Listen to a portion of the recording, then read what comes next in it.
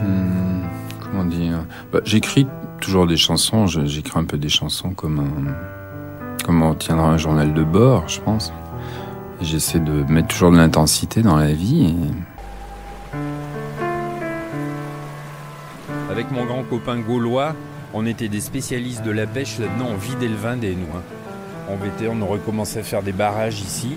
Et vraiment, dès qu'on n'avait rien à faire, on venait braconner sur le, le. Alors maintenant que je suis grand garçon et que je, me rends compte de ça même en étant au bord de l'eau, cette ombre, cette température, cette couleur, tout, c'est comme si j'étais à l'intérieur de moi.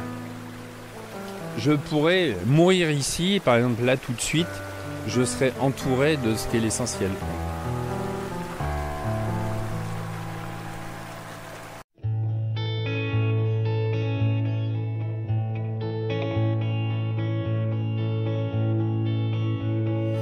Il fait grand partout en fan, au bord de l'empreinte du glacier.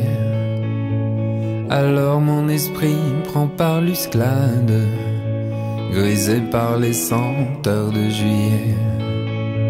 Soudain, une faible flamme jaillit dans cette obscurité. Tiens, un voleur de rhubarbe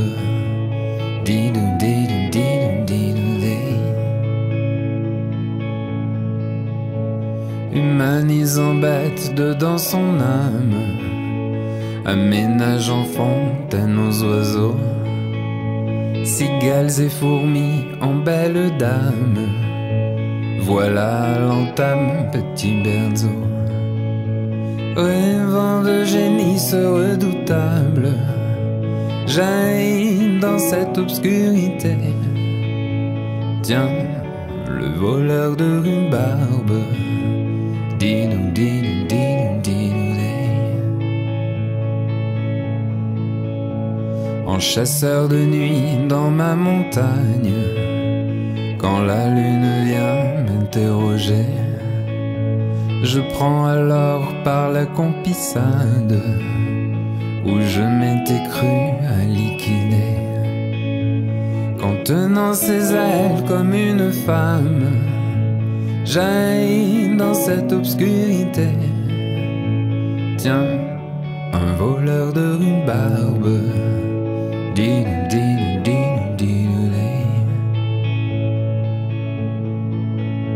Vivant le martyr sans être au ciel des fauvettes humaines, je voyais. Et j'emmenais Cathy pour sa fête. Regardez le taureau bandé. Je la revois tenant mes ailes entre rochers de l'aigle et au salé. Tiens, le voleur de rhubarbe.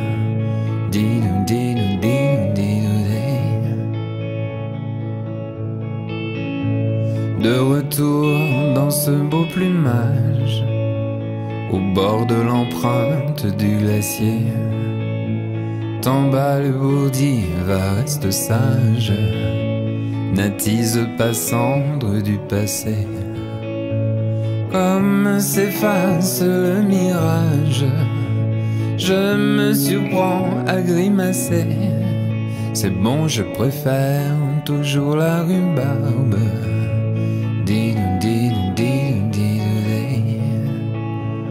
Tiens, le voleur de rhubarbe.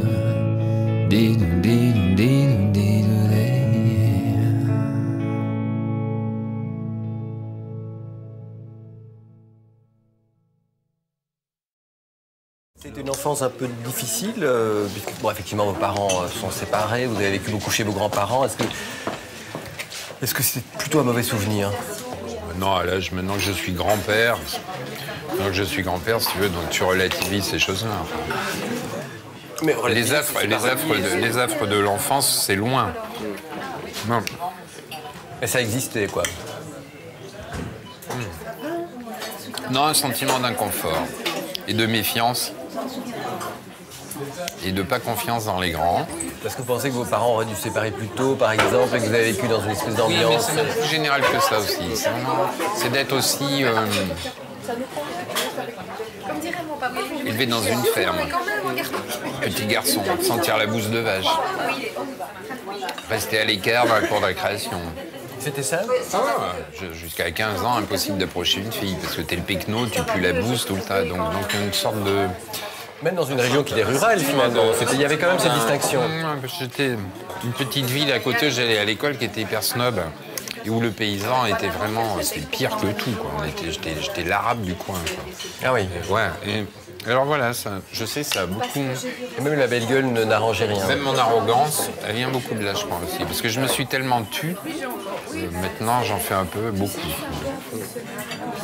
Mais c'était douloureux. Enfin, c'est une, une- voilà, une enfance, une adolescence que vous auriez pas forcément envie de revivre. Oui, mais si tu veux au sens euh, traditionnel, par exemple, je suis moi tout à fait, je suis tout à fait dans la revanche sociale, moi.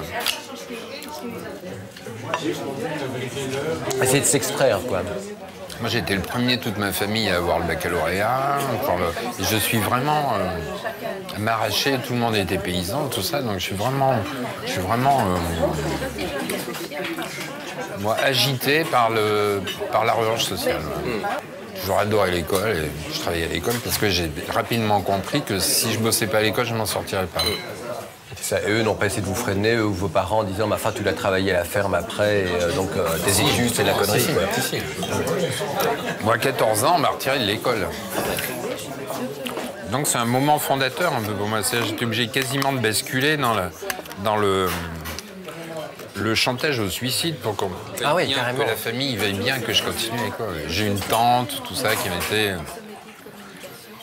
dit mais non, ce petit, il faut qu'il aille à l'école, tout Et un ça. prof d'anglais aussi, je pense. Non Est-ce qu'il y avait un prof d'anglais qui, qui- qui a fait comprendre à vos parents, vos grands-parents que vous aviez les moyens de poursuivre des études quoi? Oui, parce que je devais faire plombier, zinger, à 14 ans. Ouais, donc je suis agité par ça, je suis un peu antique, une personnalité un peu antique. voilà. Mais c'est vrai que quelque chose qui a jamais été vraiment élucidé, comment, comment sur un, un petit garçon euh, en France, dans le centre de la France, euh, chez des paysans, un petit garçon de 14-15 ans qui va entendre euh, un, petit peu des Stones ou un petit peu de Bob Dylan, en n'ayant aucune culture, n'ayant jamais entendu ça, d'un seul coup se réveille et se révèle à lui-même comme s'il avait toujours entendu ça. C'est quelque chose de mystérieux. J'ai jamais vraiment compris comment ça peut se faire, mais mais quelques mesures de Bob Dylan ou des Stones ont fait de moi euh, l'homme que je suis maintenant et j'ai toujours pas compris par quel processus ça a pu se faire. Est-ce qu'il n'y a pas eu un magicien, un monsieur euh, Oulu Odjian qui est passé par là aussi Si, si, pour beaucoup, révéler ouais, le petit garçon beaucoup. euh, qui lui arrivait, prof qui- d'anglais. voilà, Mm. voilà, qui lui aussi était un, un orphelin euh, arrivant d'Arménie et, euh, et voilà, et qui m'a dès tout petit, il a commencé à me dire euh, qu'il fallait qu'il fallait sortir de la vallée, voilà. Et maintenant, il est décédé. euh, La dernière lettre que j'ai pu lui envoyer, j'ai essayé de le retrouver pendant des années, j'ai jamais pu le retrouver. Il était libre comme l'air. Et, euh, et voilà, la dernière lettre, en tout cas, je le remerciais de m'avoir appris. euh, mais à la façon comme on l'a dans le blues et comme on l'a dans un, un thème traditionnel de, du blues, c'est-à-dire euh, euh, Sors-moi de la vallée, qui presque, c'est pourrait presque Take me to the river, ou quelque chose de, de cet ordre-là, quelque chose d'assez biblique. euh, et voilà, donc je suis sorti de la vallée, peut-être de la vallée de la vallée des larmes, et des fois j'y reviens pour écrire des disques.